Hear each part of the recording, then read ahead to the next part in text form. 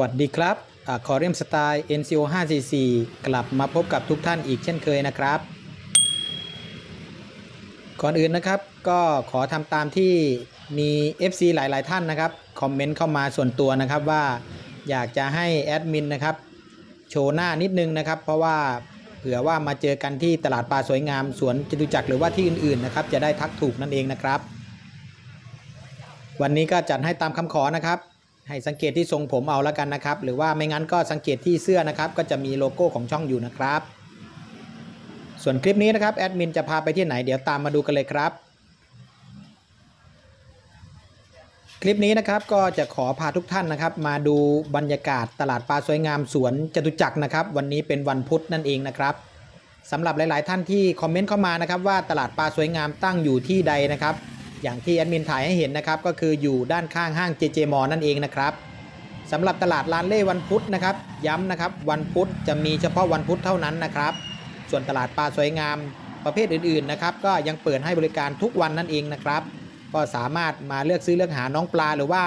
วัสดุอุปกรณ์ต่างๆ ได้ตามปกติครับสำหรับคอนเทนต์ในวันนี้นะครับ สืบเนื่องมาจากหลาย ๆ คลิปนะครับแอดมินก็จะพาดูเฉพาะปลาสวยงามแล้วก็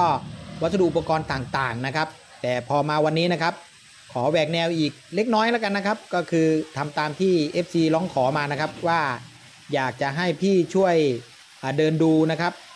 ปลาแม่น้ำนะครับที่นำมาวางจำหน่ายในโซนตลาดลานเล่วันพุธนั่นเองนะครับ เดี๋ยววันนี้นะครับก็จะเดินตามหาปลาแม่น้ำนะครับ ตามที่ FC ได้แนะนำมานะครับว่าจะมีปลาแม่น้ำอยู่เยอะหรือเปล่านะครับ ก่อนอื่นต้องขอแจ้ง FC ดังนี้นะครับ เดี๋ยวแอดมินจะขออนุญาตไม่สัมผัสถุงนะครับ ถุงใส่ปลานะครับ เนื่องจากว่าช่วงนี้เราป้องกันมาตรการโควิด -19 อยู่นะครับ เพราะว่าเราก็ไม่ทราบเหมือนกันว่าถุงปลาแต่ละถุงมีใครสัมผัสกันบ้างนะครับ เดินเข้ามาได้ไม่ไกลสักเท่าไหร่นะครับ ร้านนี้ก็มีปลาแม่น้ำอยู่หลายชนิดเหมือนกันนะครับ อย่างที่เห็นอยู่นะครับก็มีทั้งปลาหมูลายนะครับ ปลาหมูฟ้าก็มีนะครับ มีกระสูบด้วย ตัวนี้ดูไกลๆเหมือนจะเป็นปลาขยงนะครับ ใช่แล้วครับมีปลาขยงด้วยก็ถือว่าเป็นปลาแม่น้ำอีกหนึ่งชนิดเหมือนกันนะครับ นอกจากจะมีปลาขยงแล้วนะครับ ที่เห็นแวบๆเมื่อสักครู่น่าจะเป็นปลาฉลาดนะครับ ตรงนี้เป็นขยงอยู่นะครับ แล้วก็มีปลากดเหลืองด้วยสำหรับท่านที่มองหาปลากดเหลืองนะครับ ที่นี่ก็มีจำหน่ายเหมือนกันนะครับ ส่วนราคาก็อย่างที่เห็นเลยนะครับ แอดมินก็จะพยายามถ่ายให้ได้เยอะที่สุดนะครับ อย่างเช่นตัวนี้คือเจ้าปลาเขานะครับ แต่ว่าเป็นปลาเขาขาวนั่นเองนะครับ ก็ขนาดใหญ่พอสมควรแล้วครับ ยังอยู่ที่ร้านเดิมอยู่นะครับ ถัดขึ้นมาอีกหนึ่งแถวนะครับ ตัวนี้ก็ยังเป็นปลาขยงอยู่ ตัวนี้เป็นปลาฉลาดจริง ๆ ด้วยนะครับ บางท่านก็อาจจะเรียกปลาตองก็ได้นะครับ เพราะว่ามันรูปร่างใกล้เคียงกันแค่นั้นเองนะครับ ตัวนี้เป็นกำมังครับ แล้วก็เป็นปลาจีนแก้วนะครับ ส่วนที่เห็นอยู่อีกแวบๆอีกถุงหนึ่งก็เป็นปลาฉลาดเหมือนกันครับ ตัวนี้นะครับเป็นปลาตะกากนะครับ ผมก็เพิ่งจะเห็นเหมือนกันนะครับ แต่ส่วนใหญ่ที่ผมตกได้ก็จะเป็นปลาตะโกกกำมังอะไรประมาณนี้นะฮะแต่ว่านี่เป็นปลาตะกากนะครับที่เขียนไว้ ก็เดี๋ยวต้องขออนุญาตไปศึกษาข้อมูลดูก่อนนะครับ ว่าปลาตะกากเป็นแบบไหนนะครับ ส่วนถุงต่อมานะครับก็เป็นปลาปักเป้านะครับ ตัวนี้เป็นปลากระทิงลายนั่นเองครับ ส่วนแถวสุดท้ายด้านบนนะครับ ก็ยังเป็นปลาฉลาดกับปลากระทิงนั่นเองนะครับ ออกเดินกันต่อนะครับ วันนี้มีพ่อค้าแม่ค้านำน้องปลาแล้วก็วัสดุอุปกรณ์ต่างๆนะครับมาวางจำหน่ายค่อนข้างเยอะทีเดียวนะครับ มาอีกหนึ่งร้านนะครับ ติดติดกันนะครับ เห็นแวบๆนะครับ ตัวนี้คือเจ้าปลาบึกครับ นี่เลยครับหน้าตาของเจ้าปลาบึกนะครับแอดมินก็พยายามจะซูมไม่เห็นนะครับแต่ว่าถุงขุ่นไปเล็กน้อยนะฮะก็อาจจะมองไม่ค่อยชัด ตรงนี้จะเป็นเจ้าปลากระแหนะครับ ก็มีขนาดใหญ่พอสมควรแล้วครับสำหรับเจ้าปลากระแหนะครับ แล้วก็ในถุงน่าจะเป็นปลายี่สกไทยนะครับ เดินต่อไปเรื่อยๆนะครับ เพราะว่ายังมีน้องปลาอีกอยู่หลายร้านนะครับ เผื่อว่าเราจะตามหาเจ้าปลาแม่น้ำได้เยอะที่สุดนะครับ ตามที่ FC ได้คอมเมนต์เข้ามานะครับแต่ว่าเท่าที่แอดมินดูนะครับ ส่วนใหญ่ก็ยังจะเป็นปลาสวยงามอยู่นะครับ สำหรับปลาสวยงามก็มีอยู่หลายชนิดนะครับ เดี๋ยวแอดมินยกตัวอย่างให้ดูนะครับว่ามีปลาอะไรบ้างนะครับ แต่ว่าตอนนี้ก็เดินมาถึงอีกหนึ่งร้านนะครับ ร้านนี้มีปลาแม่น้ำอยู่หนึ่งชนิดนะครับ นั่นก็คือเจ้าปลาตะเพียนเผือกนะครับ ตัวนี้ก็ถือว่าเป็นปลาแม่น้ำชนิดหนึ่งนะครับ ส่วนตัวนี้เป็นปลากระทิงนะครับ ก็เป็นปลาอีกหนึ่งชนิดที่เห็นได้เยอะที่สุดเหมือนกันนะครับ ภายในตลาดสำหรับสองข้างทางที่แอดมินเดินไปนะครับ ก็จะมีปลาแม่น้ำ อยู่บ้างนะครับ แต่ส่วนใหญ่แล้วจะเป็นปลาสวยงามนะครับ อย่างเช่น ปลาที่มีขนาดเล็กก็อย่างจำพวกปลาสอด ปลาหางนกยูงปลาบอลลูนนะครับ แล้วก็จะมีปลาที่มีขนาดใหญ่ขึ้นมาหน่อย ก็จะเป็นปลาสิงปลาทองนะครับ แล้วก็ใหญ่สุดเลยที่เห็นอยู่ก็เป็นเจ้าปลาคาร์ฟนะครับ ก็จะประมาณนี้นะครับสำหรับปลาสวยงาม เดินมาอีกเล็กน้อยนะครับ ร้านนี้จำหน่ายเจ้า ปลาแรดนะครับ แต่ว่าเป็นแรดเผือกตาแดงนะครับ ราคาต่อถุงก็ 200 บาทครับปลาแรดเปลือกตาแดงนะครับติดติดๆกันนะครับตัวนี้ก็เป็นปลาดุกเผือกนั่นเองนะครับ ก็ถือว่าเป็นปลาแม่น้ำอีกหนึ่งชนิดเหมือนกันนะครับ ทุกวันนี้ก็เห็นในแหล่งน้ำธรรมชาติอย่างเจ้าพระยาก็มีเยอะพอสมควรแล้วครับ เดินมาอีกเล็กน้อยนะครับ ตัวนี้มองเห็นไกลๆก็รู้เลยครับ เจ้าปลาตะเพียนหางแดงนั่นเองนะครับสำหรับปลาตะเพียนหางแดงนะครับ ขึ้นชื่อแน่นอนครับ เป็นปลาแม่น้ำร้อยเปอร์เซ็นต์อย่างแน่นอนนะครับ เพราะว่าแหล่งน้ำทั่วทุกภาคของประเทศไทยนะครับ สามารถพบเห็นเจ้าปลาตะเพียนอ่าจำพวกนี้นะครับ อยู่เยอะมากๆนะครับ ไม่ว่าจะเป็นแหล่งน้ำไหลหรือว่าน้ำนิ่งก็เจอเหมือนกันครับ ก็ถือว่าเป็นปลาที่อาศัยอยู่ได้แทบทุกภาคของประเทศไทยนะครับสำหรับปลาชนิดนี้ก็อ่านำมาเลี้ยงเป็นปลาสวยงามได้อีกเหมือนกันนะครับ เดินต่อมาอีกนิดนึงนะครับสำหรับร้านนี้นะครับที่เห็นอยู่คือเจ้าปลากรายดำนะครับ แต่ว่าเขาวงเล็บไว้นะครับว่าจุดเยอะแอดมินพยายามนับก็เยอะจริง ๆ ครับ จุดเยอะจริง ๆ อีกเล็กน้อยนะครับ ติดติดๆกันนะครับสำหรับร้านนี้ก็เป็นเจ้าปลาลิ้นหมานั่นเองนะครับ ก็ถือว่าเป็นปลาแม่น้ำเหมือนกันครับแอดมินก็เคยตกได้อยู่เหมือนกัน ส่วนถัดมานะครับเป็นปลาบูนะครับ ก็เป็นปลาแม่น้ำอีกหนึ่งชนิดครับ นี่เลยครับปลายอดฮิตที่เห็นเยอะที่สุดนะครับ นั่นก็คือเจ้าปลากรายนั่นเองนะครับ ก็เป็นปลาอีกหนึ่งชนิดนะครับ ที่พบเห็นได้เยอะภายในตลาดปลาสวยงามสวนจตุจักรนะครับออกเดินกันต่อนะครับ ตอนนี้ยังอยู่ที่ซอยแรกอยู่นะครับ แต่ว่าเป็นฝั่งที่สองนะครับ ฝั่งด้านขวามือนั่นเอง เดี๋ยวเราจะเดินย้อนขึ้นไปนะครับ เพื่อดูว่าจะมีร้านไหนบ้างที่ยังจำหน่ายปลาแม่น้ำอยู่นะครับ เท่าที่แอดมินถ่ายมาก็หลายชนิดเหมือนกันนะครับ แต่ว่าบางชนิดก็อาจจะซ้ำๆกันอย่างเช่นเจ้าปลากายหรือว่าปลากระทิงนั่นเองนะครับ ก็มีเยอะพอสมควรครับสำหรับปลาสวยงามชนิดอื่นๆนะครับ ก็มีพ่อค้าแม่ค้านะครับนำมาวางจำหน่ายเยอะพอสมควรครับ ที่เห็นอยู่ในถุงนะครับ เท่าที่แอดมินสังเกตดูก็น่าจะเป็นเจ้าปลาสวายนั่นเองนะครับ ก็ถือว่าเป็นปลาแม่น้ำอีกหนึ่งชนิดนะครับ โดยเฉพาะแม่น้ำเจ้าพระยาพบเห็นได้เยอะที่สุดเลยครับ ถัดมานะครับก็ยังเป็นเจ้าปลากายนะครับ อย่างที่แอดมินบอกไปนะครับว่าเป็นปลายอดฮิตจริง ๆ นะครับ ถุงถัดมานะครับเห็นไกลๆรู้เลยครับ เจ้าปลาแรดนั่นเองนะครับ นี่ก็เป็นแรดเผือกเหมือนกันครับ ก็มีจำหน่ายเหมือนกันออกเดินกันต่อนะครับ เพราะว่ายังมีร้านค้าค่อนข้างเยอะทีเดียวนะครับ อย่างที่เห็นในภาพเลยนะครับ ก็เราจะตามหาปลาแม่น้ำไปเรื่อย ๆ นะครับ ว่าจะมีปลาแม่น้ำอะไรกันบ้างนะครับ สำหรับร้านนี้นะครับก็เป็นปลาแม่น้ำเหมือนกันนะครับ แต่ว่าบางชนิดก็เป็นปลาแม่น้ำที่นำเข้ามานะครับ อย่างเช่น เจ้าปลาปักเป้านะครับ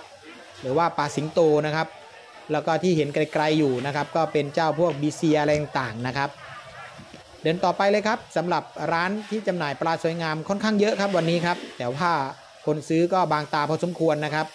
ยังมีร้านจำหน่ายปลาสวยงามอีกเยอะแยะเลยครับ เดี๋ยวตามกันต่อนะครับ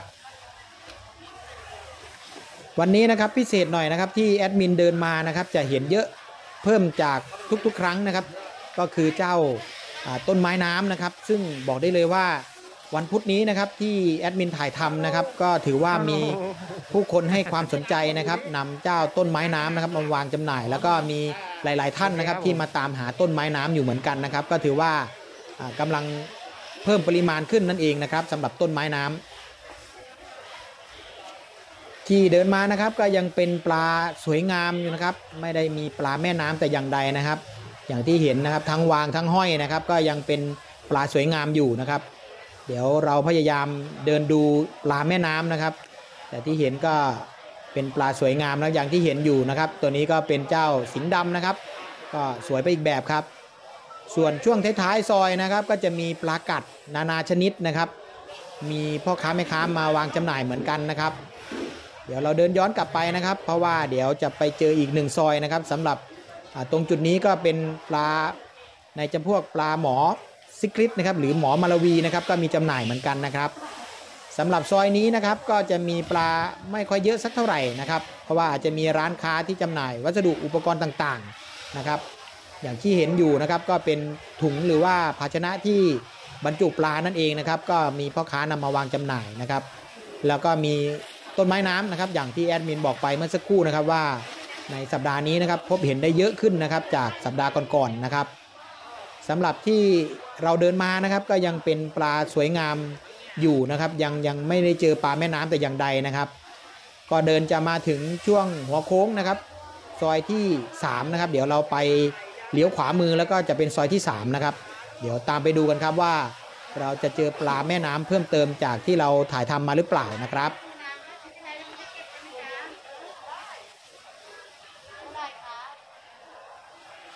หลังจากที่เราเลี้ยวขวามานะครับ เข้ามาซอยที่3นะครับก็ยังไม่เจอปลาแม่น้ำนะครับ แต่ว่าที่เจอก็คือต้นไม้น้ำนะครับ ที่แอดมินบอกไปนะครับว่า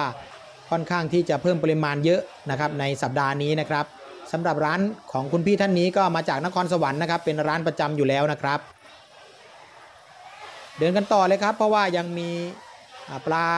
นานาชนิดนะครับพ่อค้าแม่ค้านำมาวางจำหน่ายค่อนข้างเยอะนะครับ เผื่อว่าเราจะเจอปลาแม่น้ำเพิ่มเติมนะครับ ในระหว่างที่เดินไปก็แนะนำแล้วกันนะครับสำหรับท่านที่เพิ่งจะเข้ามารับชมคลิปนะครับสำหรับช่อง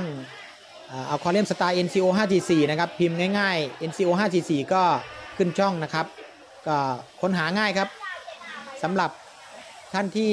เพิ่งเข้ามารับชมนะครับ บางท่านอาจจะสงสัยว่า แล้วตลาดปลาลานเล่วันพุธตั้งอยู่ตรงไหนนะครับ เดี๋ยวแอดมินแนะนำเพิ่มเติมอีกหนึ่งครั้งนะครับ ก็คือตลาดปลาสวยงาม ลานเล่วันพุธหรือตลาดปลาถุงวันพุธนะฮะจะมีเฉพาะวันพุธเท่านั้นนะครับ ก็จะอยู่ด้านข้างห้างเจเจมอนั่นเองนะครับ ส่วนสถานที่ตั้งก็คือเดิมทีตรงนี้นะครับ จะเป็นลานจอดรถของตลาดปลาสวยงามสวนจตุจักรนะครับ แต่ว่าเราได้เปลี่ยนแปลงมาเป็นลานปลาถุงนั่นเองนะครับ จะมีเฉพาะวันพุธเท่านั้นนะครับเผลอแป๊บเดียวนะครับ เดินมาสุดทางที่ซอยที่3นะครับ เดี๋ยวเราจะเข้าซอยที่ 4 ซอยสุดท้ายนะครับ สำหรับซอยนี้นะครับ ส่วนใหญ่แล้วก็จะเป็นเน้นเรื่องการแพ็คปลานะครับ ถามว่าทำไมต้องมีการแพ็คปลานะครับ ก็อย่างที่บอกไปนะครับว่าบางทีนะครับปลาที่มาจากบ่อนะครับ ถูกบรรจุมานานนะครับ ในการขนย้ายอะไรต่างๆนะครับ ก่อนจะมาถึงพ่อค้านะครับ ก็จะต้องทำการแพ็คปลาใหม่นะครับ เพื่อว่าน้ำจะได้ใสขึ้น แล้วก็ปลาจะได้สดชื่นนั่นเองนะครับ ออกเดินกันต่อนะครับ เพราะว่ายังมีร้านจำหน่ายปลาอีกเยอะอยู่นะครับ ยังไม่หมดนะครับสำหรับซอยนี้นะครับก็เป็นซอยสุดท้ายนะครับที่แอดมินจะพาทุกท่านมาดูนะครับว่าจะมีปลาแม่น้ำอยู่หรือเปล่านะครับสำหรับซอยนี้นะครับก็อย่างที่บอกไปนะครับจะเป็นซอยที่มีปลาถุงวางค่อนข้างเยอะนะครับสำหรับซอยสุดท้ายนะครับ อย่างที่เห็นเลยนะครับแอดมินก็จะพยายามเดินตามหานะครับ เจ้าปลาแม่น้ำนะครับเผื่อว่าหลาย ๆ ท่านกำลังตามหาปลาแม่น้ำอยู่นะครับ ก็จะเป็นอีกหนึ่งทางเลือกสำหรับท่านที่ต้องการปลาแม่น้ำไปเลี้ยงนั่นเองนะครับ ในระหว่างที่แอดมินเดินมานะครับ ก็ยังเป็นปลาสวยงามอยู่นะครับ ไม่ว่าจะเป็นปลาหมอสี ปลาสอด ปลาหางนกยูงปลาเสือเยอรมันปลาม้าลายนะครับปลาบอลลูนนะครับ แล้วก็ปลาทองในตระกูลนั้นก็จะเป็นปลาสิงห์นะครับ สิงห์ห้าสีนะครับ สิงห์ดำก็มีมีเหมือนกันนะครับ เยอะแยะพอสมควรเลยครับสำหรับปลาสิงห์นะครับ ที่เห็นอยู่นะครับก็ยังเป็นปลาถุงประเภทปลาสวยงามอยู่นะครับ เดี๋ยวเดินไปเรื่อยๆนะครับ ใกล้จะสุดทางแล้วครับเดี๋ยวว่าจะเจอปลาแม่น้ำเพิ่มเติมนะครับ